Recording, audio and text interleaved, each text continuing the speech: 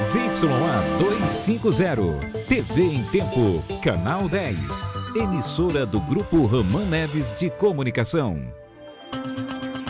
Dupla é presa suspeita de roubar carga milionária que seria entregue à empresa do Polo Industrial. Estudante universitário é baleado na saída de posto de gasolina e morre no hospital.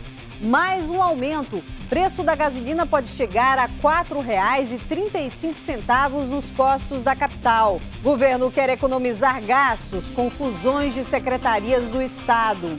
E ainda na última reportagem da série sobre os influenciadores digitais, a gente vai conhecer quem ainda bebê já atrai marcas, seguidores e movimenta a internet. O Jornal em Tempo desta sexta-feira já está no ar.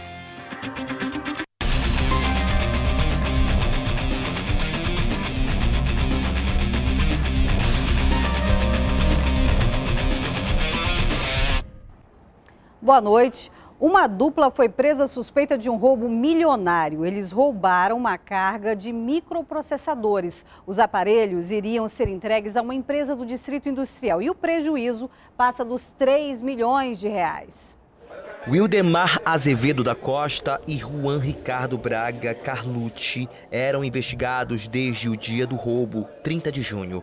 A polícia investiga agora o envolvimento de outras três pessoas no crime. Uma delas é Renan Martins de Oliveira, funcionário da empresa assaltada. Ele teria sido responsável por abordar o motorista da van com uma arma. Eram microprocessadores que vieram da China estavam destinados a uma empresa a Torquato Tapajós, empresa essa que era responsável pela fabricação de micro, microcomputadores, né? E a partir daí nós começamos esse trabalho investigativo e conseguimos identificar os cinco integrantes dessa quadrilha. Os alvos dos criminosos foi uma empresa que trabalha com transporte de cargas para o polo industrial de Manaus. Eles confessam no depoimento, é, inclusive a vítima reconhece dois dos que abordaram durante o trajeto até, o, até a, a empresa que se, receberia esses microprocessadores. A carga está avaliada em 3 milhões e 46 mil reais. O líder do grupo foi preso no momento em que ele fazia uma conexão no aeroporto internacional Eduardo Gomes, aqui em Manaus.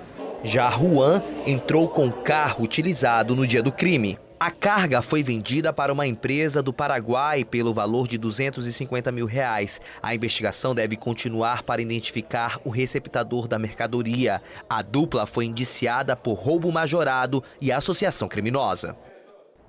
E um estudante de direito morreu depois de ter sido baleado em um posto de combustíveis na Avenida Cosme Ferreira, no Coroado, zona leste de Manaus. Ele estava de carona com um amigo.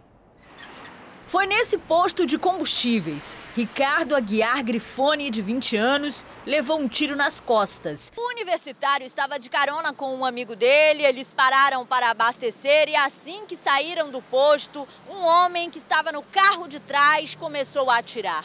Passava das duas da madrugada. Imagens das câmeras de segurança da área devem ajudar nas investigações. A polícia ainda não sabe o que motivou o crime. O estudante e o amigo haviam saído para divulgar uma festa. Ele foi socorrido, mas morreu no hospital.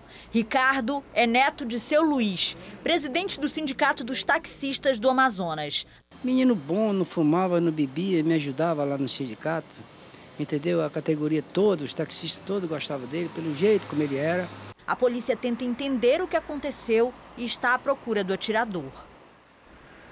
Daqui a pouco o governo vai fundir secretarias para diminuir despesas e o valor do litro da gasolina chega a R$ 4,35 a seguir.